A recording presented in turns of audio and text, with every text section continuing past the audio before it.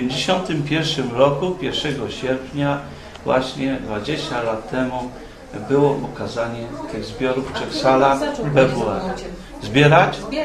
Y, Ja coś Pani powiem, y, mając, y, Boże, 16-17 lat, dostawałem czasopisma y, Głosu Ameryki z ambasady Kultura i Polityka USA. I to miało wpływ, że się zainteresowałem tym tematem i te czasopisma to były takie, co dwa tygodnie gdzieś przychodziły e, z ambasady, miały, potem miałem w wojsku kłopoty, zdawałem na szkołę oficerską, to mi to wyciągnęli, że współpracuję z, z ambasadą, I no i te kłopoty, nie dostałem się na tą szkołę oficerską w chwilę i, to- i to tak właśnie, ale to zaparcie było cały czas, bo jak byłem kurierem dla księży Palotynu, jeździłem Austria, e, no znaczy konwojowali te różne dary inne, to było tak, że chcieli, że mnie przeciągną do Austrii i do Niemiec. Bo mam nazwisko niemieckie i że tam dostanę od razu obywatelstwo, a ja się uparłem, że muszę do Ameryki. Ja jak pojadę, to tylko do Stanów Zjednoczonych, bo, bo ten kraj mnie interesuje, no i tak to było. Szanowni e, Panie Zygmuncie, e, Szanowny e, Panie Starosto, Szanowni Państwo, jestem e, zaś, zaszczycony, że mogę reprezentować Konsulat Generalny Stanów Zjednoczonych w Krakowie e, tutaj dziś w Muzeum Hells Angels e, na obchodach 20. rocznicy e, powstania Muzeum Lotników Amerykańskich. Jako dziecko ja słuchałem opowieści mojego dziadka, nawigatora samolotów B-17 e, w czasie II e, wojny światowej.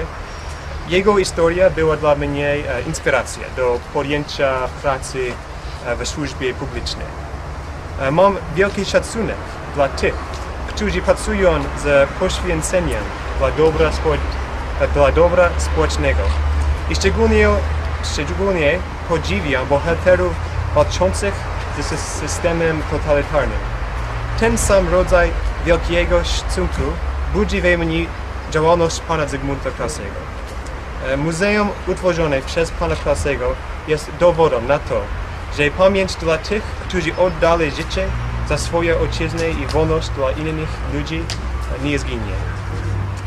Jest honorowana tak, jak na to zasługuje ze wszechmiar.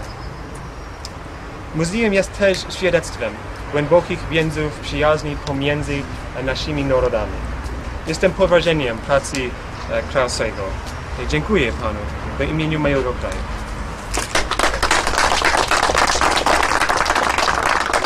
Jest e, dla pana.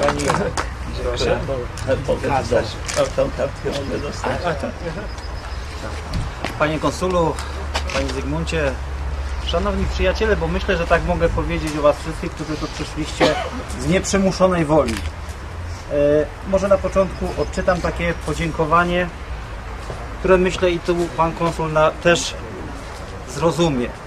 Podziękowanie dla pana Zygmunta Krausa za aktywne krzewienie pamięci historycznej naszej małej ojczyzny, pielęgnowanie przyjaźni polsko-amerykańskiej oraz promowanie powiatu wadowickiego w kraju oraz poza jego granicami.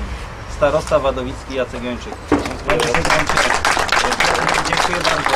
Natomiast pewnie nie byłbym sobą, gdybym nie dopowiedział jeszcze, jeszcze paru, paru zdań. Kiedy kilka tygodni temu miałem okazję spotkać się tutaj y, z Panem i z Panem Zbyszkiem Juczakiem, radnym powiatowym, kiedy pokazaliście to wielkie dziedzictwo, które tu, na tym małym miejscu zostało zgromadzone, e, to powiem tak, że byłem pod wrażeniem i kiedy zaproponowaliście e, Panowie, abym objął również patronatem to dzisiejsze spotkanie, to zrobiłem to z wielką przyjemnością. Powiem tak, że mało jest takich pasjonatów na ziemi wadowickiej, którzy w ten sposób, poprzez właśnie swoją pasję, zbieranie tych e, różnych rzeczy, poświęcanie czasu, ale i środków pieniężnych na to, e, potrafi udostępniać to co, to, co zgromadziło właśnie ludziom, którzy chcą tego.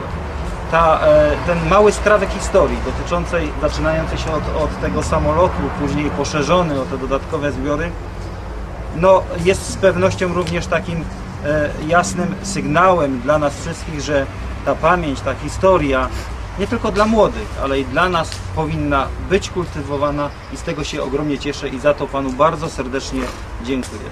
Dziękuję bardzo. A panu też. Też dziękuję.